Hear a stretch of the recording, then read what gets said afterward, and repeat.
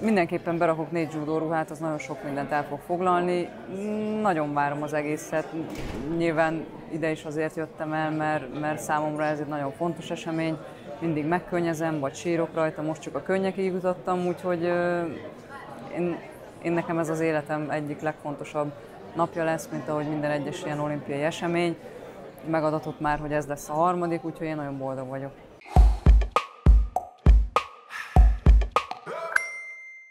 Élvezze!